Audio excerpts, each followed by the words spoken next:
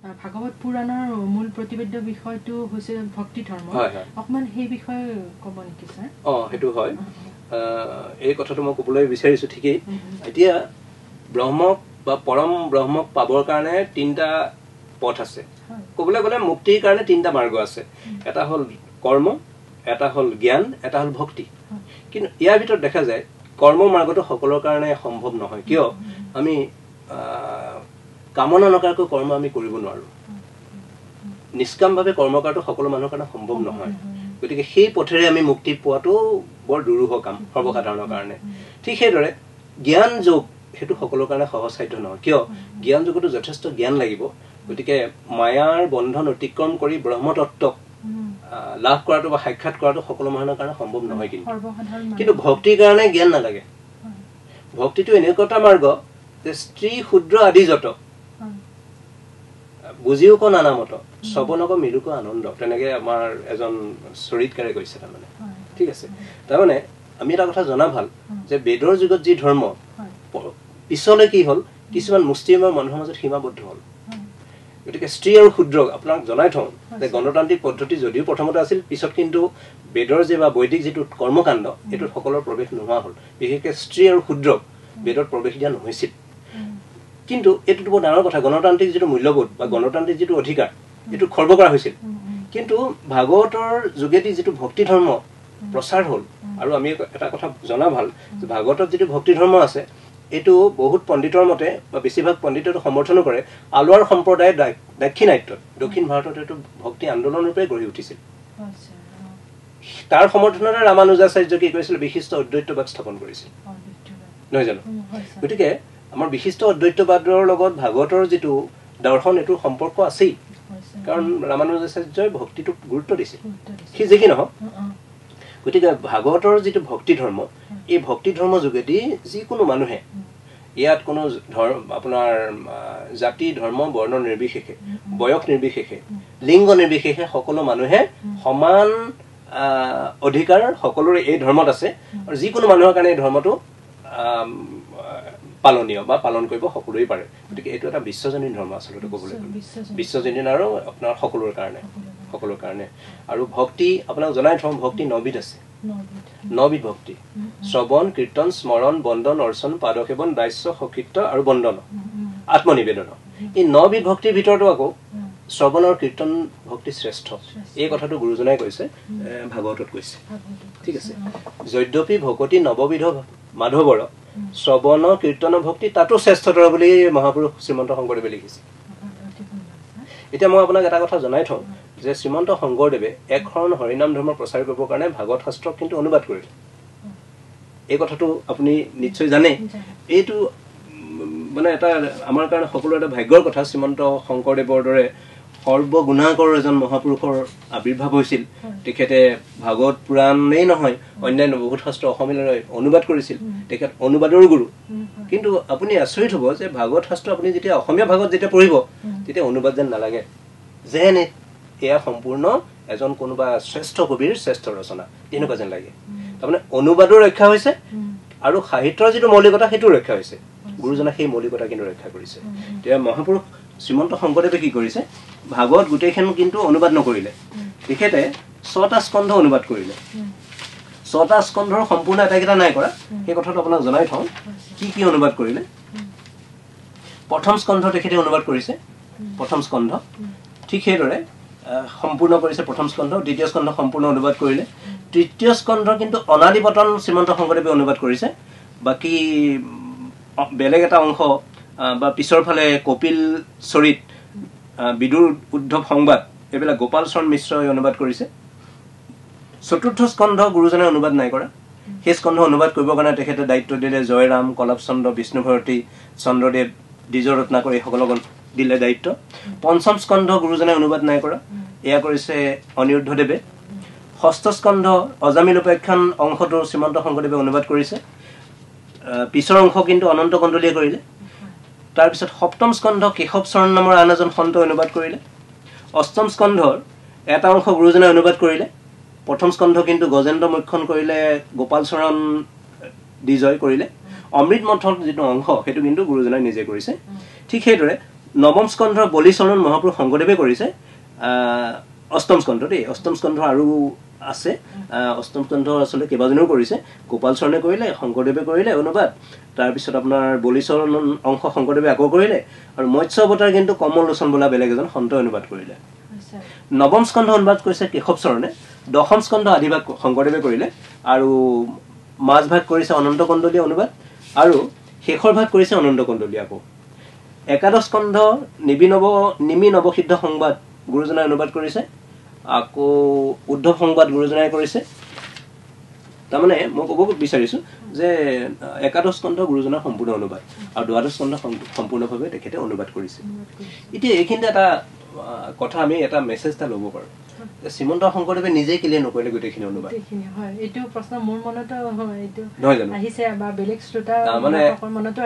এইটো এটা ডাঙৰ কথা যে মহাপুৰুষসকলৰ লক্ষণ হ'ল তেখেতসকলে নিজে সকলো কাম নকৰে। তেখেতসকলে কিছুমান অনুগামী সৃষ্টি কৰে। অন্যক দায়িত্ব দিয়ে নহ'লে তেখেতসকলৰ ধৰ্মৰ ভাগটো কোনে ল'ব? ধৰ্মৰ ভাৰখন কোনে ল'ব? সেইটোৱে নহয় তেখেতসকলে কি কৰিলে? কিছুমান অনুবাদকৰ সৃষ্টি কৰিলে কিছুমান সাহিত্য আপোনাৰ সাহিত্যিকৰ সৃষ্টি কৰিলে কিছুমান কবিৰ সৃষ্টি কৰিলে যিসকলক দায়িত্ব দিলে। গতিকে এইটো এটা ডাঙৰ লক্ষণ। আৰু দ্বিতীয়তে কি হ'ল? বাকীসকলৰ যি অনুবাদ সেই সকলো সেইবিলাকৰ ক্ষেত্ৰত আমি দেখিছোঁ। তেখেতসকলে দাৰ্শনিক দুৰূহ যিবিলাক তত্ত্ব এইবিলাকো অনুবাদ কৰিছে। লগতে কিন্তু তেখেতসকলৰ কাব্যত তেখেতসকলৰ ভাগৱতত কিন্তু কাব্যকতাও আছে। এইখিনিতে মই এটা কথা জনাই থওঁ কাৰণ ভাগৱতৰ কথা কৈ অন্ধ নাই। ভাগৱত শাস্ত্ৰ কিন্তু কেৱল এখন ভক্তি ধৰ্মমূলক গ্ৰন্থ বা কেৱল দৰ্শনৰ দৰ্শনমূলক গ্ৰন্থই নহয়। ইয়াত আপোনাৰ কাব্যিকতাও আছে। আপোনাক শুনিলে আচৰিত হ'ব। আমি যদি মূল ভাগৱতলৈ চাওঁ মূল ভাগৱত তাতে এটা শ্লোক আছে শ্লোকটো দেখিলে আপুনি আচৰিত হ'ব তাততো ধৰ্মৰ কথা নাই দেখোন। তাত নৈতিকতাৰ কথাহে আছে বা সামাজিক যিবিলাক ব্যৱহাৰিক জ্ঞান এইবিলাকহে আছে। উদাহৰণস্বৰূপে এটা শ্লোক আছে নিশ্চং ত্যজন্তী গণিকা অৱৰং নৃপতিং প্ৰজা খগা বীত ফলং বৃক্ষম ভোক্পা চাতি থয়ো গৃহম। এইদৰে শ্লোকটো আছে যে গণিকাসকলে নিশ্চয়জনক ত্যাগ কৰে। নিশ্চয় মানে যিজন দুখীয়া মানুহ গণিকাসকলে ত্যাগ কৰে বেচাসকলে। অৱৰং নৃপতিং প্ৰজা। প্ৰজাসকলেও ৰজা যদি শ্ৰেষ্ঠ নহয় তেনেকুৱা ৰজাক মানে ত্যাগ কৰে। খগা বীত ফলং বৃক্ষম। চৰাই ত্যাগ কৰে গছ নোহোৱা ফল নোহোৱা গছক। চাবচোন আপুনি। য'ত যিজোপা গছত ফল নাথাকে চৰাই তাত নাথাকে। ভোক্ত চাতি থৈ গৃহম। অতিথি অতিথিসকল আপুনি চাব নিজৰ ঘৰত। খোৱাৰ সময়ত কিন্তু বেছি সময় নাথাকে। এইবিলাক কিন্তু নীতি বাক্য এনেকুৱা ব্যৱহাৰিক জ্ঞান যে ভাগৱতত আছে আপুনি ভাবিব নোৱাৰা কথা। তেতিয়া ভাগৱতত এনেকুৱা জ্ঞানো আছে। অন্যহাতে ভাৰত ভাগৱতত যি কাব্যিক মূল্য অনন্ত কাব্যিক মূল্য আছে এখন এখন মানে মহাকাব্য হিচাপে গণ্য কৰিব পাৰি। যদি আমি চাওঁ ৰসৰ দৃষ্টিত চাওঁ ইয়াত ভক্তি ৰস। ভক্তি কিন্তু ৰস নহয় সংস্কৃত আলংকাৰীসকলৰ কাৰণে। কিন্তু এই ভক্তিক আকৌ ৰসৰ স্থান দিছে বৈষ্ণৱ আলংকাৰীসকলে বিশেষকৈ বংগৰ যিসকল বৈষ্ণৱ আলংকাৰী আছিল তেওঁলোকৰ কাৰণে ভক্তি এটা ৰস। বা ভক্তিয়ে হৈছে শ্ৰেষ্ঠ ৰস যি ভক্তি ৰসৰ পাঁচটা আকৌ অংগ আছে। সেইফালৰ পৰা যদি দেখা যায় ভাগৱত কিন্তু এখন ভক্তি ৰসপূৰ্ণ ভক্তি ৰসময় এখন কাব্য। ইয়াত ভক্তি ৰস আছে। বিভিন্ন স্থানত আমি দেখিছোঁ ভক্তি ৰস। বিশেষকৈ আপুনি যদি চাই ভক্তি এফালৰ পৰা ভক্তি অন্য ফালৰ পৰা কিন্তু প্ৰেম আকৌ। উদাহৰণ উদাহৰণস্বৰূপে আপুনি যদি ৰাসলীলা অধ্যায়লৈ যায় ৰাসলীলা ৰাস পঞ্চায়তদায়ী দশম স্কন্ধ তাত কৃষ্ণই যি বিনা বজাই কৃষ্ণই যি বাঁহী বজাইছে সেই বাঁহীত মুগ্ধ হৈ গোপীসকলে নিজৰ নিজৰ গৃহকৰ্ম ত্যাগ কৰি কৃষ্ণৰ বংশীৰ নিনাদ শুনি ঢাপলি মেলিছে বৃন্দাবনলৈ। এফালেদি চালে তাত গোপীসকলৰ আৰু কৃষ্ণৰ মাজত যিটো প্ৰেম এইটো এফালৰ পৰা চাবলৈ গ'লে এইটো আপোনাৰ পাৰ্থিৱ গন্ধ আছে কিন্তু। কিন্তু বৈষ্ণৱ আলংকাৰিকসকলে কয় বা বৈষ্ণৱ যিসকল কবি বা যিসকল সমালোচক তেওঁলোকে কয় এইটো হ'ল আত্মা আৰু পৰমাত্মাৰ মিলনহে আচলতে। সেইফালৰ পৰা ইয়াত এটা দাৰ্শনিক তত্ত্বহে আছে। ভক্ত আৰু ভগৱানৰ মিলনহে ঘটিছে আচলতে। গোপীসকল হৈছে ভক্তৰ প্ৰতীক আৰু কৃষ্ণ হৈছে ভগৱন্তৰ প্ৰতীক। আৰু এটা কথা আপোনাক জনাই থওঁ যে দহটা অৱতাৰৰ ভিতৰত কৃষ্ণ অৱতাৰ শ্ৰেষ্ঠ। আৰু সেইকাৰণে কৃষ্ণস্তু ভগৱান স্বয়ং।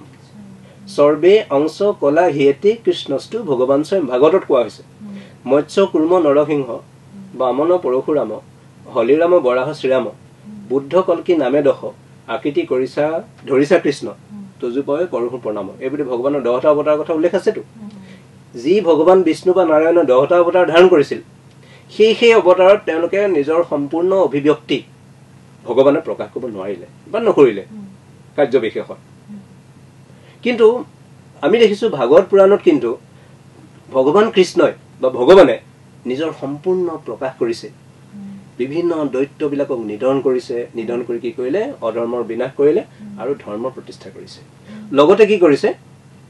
ভক্তিৰ যোগেদি কেনেকে এই সংসাৰত বিশেষকৈ কলিযুগত নৰ মাত্ৰই যাতে ভৱকূপ বা ভৱ সংসাৰ ত্ৰাণ হ'ব পাৰে পৰিত্ৰাণ হ'ব পাৰে তাৰ যোগেদি একাদশ কণ্ঠত বিশেষকৈ উদ্ধৱৰ মুখেদি বা উদ্ধৱৰ যোগেদি উদ্ধৱৰ মাধ্যমেদি ভক্তি ধৰ্ম প্ৰচাৰ কৰিছে। আৰু সেই ভক্তি ধৰ্ম বিশেষকৈ শ্ৰৱণ কীৰ্তনৰ জৰিয়তে। যিটোত গুৰুজনাই বিশেষ গুৰুত্ব দিছে অসমত। ভক্তি ধৰ্ম ভাগৱতত উপস্থাপিত হৈছে। সেইটো গম পালো। আৰু এই হৰিনাম প্ৰচাৰৰ বাবে এয়া ভাগৱত পুৰাণ ৰচনা হৈছে। সেইটো আমি জানো। এতিয়া যিটো ভাগৱতৰ যিটো ধৰ্ম সেইটো বেদ সমৰ্থিত হয়নে? বেদ সম্পূৰ্ণ বেদ সমৰ্থিত। মই ইতিমধ্যে আপোনাক কৈছো ভাগৱতৰ যিটো দৰ্শন এই দৰ্শন হ'ল বেদান্ত দৰ্শন। আৰু এই বেদান্ত দৰ্শন হ'ল উপনিষদৰ দৰ্শন।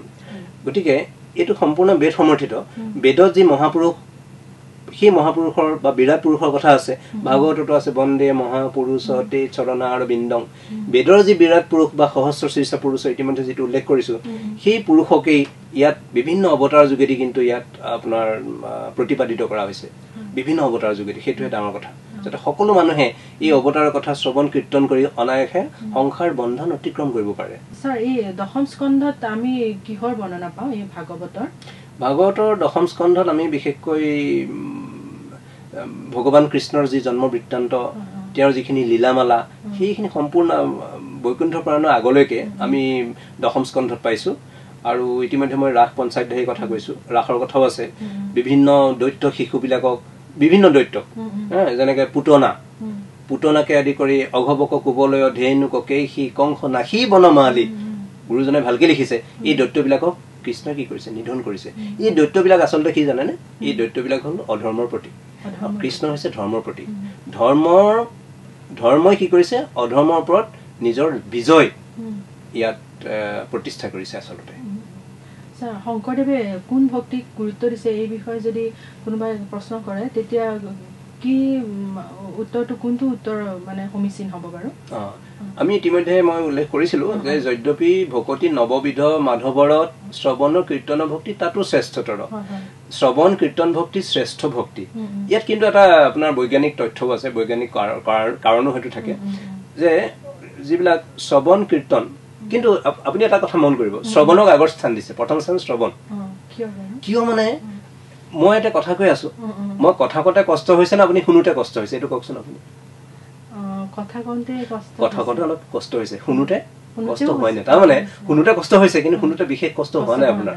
তাৰমানে কথা কোৱাটো অলপ কষ্টকৰ শুনোটো শুনাটো কম কষ্টকৰ। অনায়াসে। আমাৰ কথা হ'ল কি অনায়াসে কেনেকে ভক্তি ধৰ্ম কৰিব পাৰি? শ্ৰৱণটো প্ৰথমতে দিছে কীৰ্তনটো তাৰপিছত দিছে। শ্ৰৱণ কীৰ্তন স্মৰণ। বিষ্ণুৰ কাৰ বিষ্ণুৰ স্মৰণ। অৰ্চনা পাদ সেৱন আমি দেখিছো যে এই নৱবিধ ভক্তিৰ ভিতৰত শ্ৰৱণ ভক্তিটো আটাইতকৈ সহজ। আটাইতকৈ সহজ কামটো প্ৰথমতে দিছে তাৰমানে। গতিকে তাতো হয়তো এটা মানে এটা কাৰণ আছে। মানে সহজ যিটো কাম আটাইতকৈ সহজ কামটো প্ৰথম। আটাইতকৈ সহজ ভক্তি কোনটো? শ্ৰৱণ ভক্তি। তাৰপিছত কীৰ্তন ভক্তি। তাৰপিছতহে বাকীবিলাক। কিন্তু ইয়াত গুৰুজনৰ বেলেগ এটা উদ্দেশ্য হয়তো আছে। মানিকান্ত কাকতিদেৱে তেখেতে পুৰণি অসমীয়া সাহিত্য নামৰ যিখন গ্ৰন্থ তাতো লিখিছে যে অংকীয়া নাটকৰ যিদৰে যি যোগেদি যিদৰে গুৰুজনে লোক সংগ্ৰহ কৰিছিল ইয়াতো শ্ৰৱণ কীৰ্তনৰ যোগেদি কিন্তু লোক সংগ্ৰহ হয়। আমি যদি গাই থাকো কোনোবাইতো শুনিব কিনো গাইছে চাওঁগৈ কিনো গাইছে শুনোগে এইবুলি কৈ কোনোবা দুজন মানুহ গোট খালে। গোট খোৱাৰ কাৰণে কি হ'ল? আপোনাৰ লোক সংগ্ৰহ হ'ল। লোকৰ সংগ্ৰহৰ জৰিয়তে কি হ'ল জানেনে? ধৰ্মৰ প্ৰচাৰটো ধৰ্মৰ প্ৰচাৰ আৰু প্ৰসাৰটো বেছি আপোনাৰ সহজ খাদ্য হৈ উঠিল গতিকে গুৰুজনাৰ মহৎ মানে বৰ অসম গঢ়িবৰ কাৰণে আপোনাৰ এক আপোনাৰ নিৰ্মল ভক্তি ধৰ্মৰ যোগেদি বৰ অসম গঢ়িবৰ কাৰণে যিটো লোক সংগ্ৰহৰ প্ৰস্তুতি চলাইছিল এই প্ৰস্তুতিৰ ক্ষেত্ৰতো হয়তো তেখেতে শ্ৰৱণ কীৰ্তন ভক্তিক বেছি গুৰুত্ব দিছিল। এইটো আমাৰ ধাৰণা। আৰু শংকৰদেৱৰ প্ৰিয় শিষ্য বুলিতো আমি মাধৱদেৱ সকলোৱে জানো। কি কাৰণে তেখেত বাধ্য হ'ল শৰণ ল'বলৈ? সেইটো আপুনি খুব ভাল কথা এটা কৈছে। সেয়াত তাত এটা আঁৰৰ কাহিনী এটাও আছে। কাহিনীটো হ'ল আমি এটা কথা জানো যে মাধৱদেৱ এজন পণ্ডিত আছিল। শ্ৰীমন্ত শংকৰদেৱ সংস্কৃত শাস্ত্ৰত বিদগ্ধ পণ্ডিত আছিল। এই কথাটো আমি জানিব লাগিব। সি যি কি নহওক গুৰুজনাই বাৰাণসীত গৈ পেলাই অগাধ শাস্ত্ৰ ৰচনা কৰিছিল। সেইবিলাক মঠি পেলাই এখন হৰিণ হৰিনাম ধৰ্ম প্ৰচাৰ কৰি আছে। ঘটনাক্ৰমে মাধৱদেৱ তেখেতে আপোনাৰ এবাৰ তেখেত শাক্ত আছিল। আকৌ গতিকে মাধৱদেৱে দুৰ্গা পূজাত বলি দিবৰ কাৰণে এটা পাঠা ছাগলী বিচাৰি আছে। তেনেকুৱাতে তেখেতে এটা কথা গম পালে যে শ্ৰীমন্ত শংকৰদেৱে হেনো হৰিভক্তি ধৰ্ম প্ৰচাৰ কৰিছে। গতিকে তেখেতক শংকৰদেৱৰ লগত পৰিচয় কৰাই দিয়া হ'ল। পৰিচয় কৰাই দিয়া হ'ল যাতে গুৰুমুখী হয়। তাৰমানে এখন হৰিনাম ধৰ্মত যাতে আসক্ত হয় মাধৱ পুৰুষ গতিকে শংকৰ মাধৱৰ সেইটো যোগাযোগ এটা হ'ল। শংকৰ মাধৱৰ যিটো যিটো মিলন এই মিলনটোক মণিকাঞ্চন সংযোগ বুলি বেজবৰুৱাদেৱে কিন্তু উল্লেখ কৰিছে। সি যি কি নহওক মাধৱদেৱে যে সি বলিৰ কাৰণে পাঠা বিচাৰিছিল এই কথাটো শংকৰদেৱে যেতিয়া গম পালে শংকৰদেৱে মাধৱক বুজালে যে এইটো কাম নকৰিবা। বোলে কিয় নকৰিম? তেতিয়া শংকৰদেৱৰ ব্যাখ্যা শংকৰদেৱে শাস্ত্ৰ ব্যাখ্যা দিলে। শাস্ত্ৰই বা বেদে কি কেনেদৰে বলি বিধান নিষেধ কৰিছে আনকি পশু হিংসা কিদৰে নিষেধ কৰিছে বহুত শাস্ত্ৰৰ বিশেষকৈ ভাগৱত শাস্ত্ৰৰ পৰা শ্লোক উল্লেখ কৰি পেলাই মাধৱদেৱক বুজালে। কিন্তু মাধৱদেৱ কোনো মতেই মান্তি নহয়। অৱশেষত শংকৰদেৱে এটা শ্লোক ভাগৱত পুৰাণৰ পৰাই হেৰি কৰিলে উচ্চাৰণ কৰিলে। সেই শ্লোকটো হৈছে যথা তৰুৰ মূল নিশ্চেচনেন তৃপন্তি তৎস্কন্ধ ভুজোপশাখা প্ৰাণোপহাৰাচ্ছ যথেন্দ্ৰিয়ানং তথৈব সৰ্বাৰহনম ঐচ্যু তেজ্জা এই শ্লোকটো অত্যন্ত তাৎপৰ্যপূৰ্ণ। ইয়াৰ অনুবাদ আমি এনেকৈ পাওঁ বৃক্ষৰ মূলত দিলে আনি জল ত্ৰিপিতি হৈয়ত আৰু পত্ৰ পুষ্প ফল ডাল ডালপাতে সিঞ্চা যদি মূলকে নেদয় কদাচিতো ডালপাতে ত্ৰিপিতি নহয়। গছৰ মূলতহে আমি পানী দিব লাগে। ডালপাততো পানী দিব নালাগে। আমি যদি মূলত নিদিওঁ ডালপাতত যদি পানী দিওঁ গছজোপাই জানো পৰিপুষ্টি পাব কেতিয়াও নাপায়। ঠিক সেইদৰে সকলো দেৱতা মূল দেৱতা হৈছে যিজন সৃষ্টি স্থিতি প্ৰলয়ৰ একমাত্ৰ কাৰণ সেয়া হৈছে বিষ্ণু নাৰায়ণ পৰমেশ্বৰ। সেই পৰমেশ্বৰক যদি পূজা কৰা হয় অন্য সকলো দেৱতাই পূজা পায়। গতিকে পৃথককৈ কোনো দেৱতাক পূজা কৰিব নালাগে। পৃথককৈ দেৱতাক অন্য দেৱতাক পূজা কৰা মানে ডাল পাতৰ পানী দিয়া নিচিনা হয়।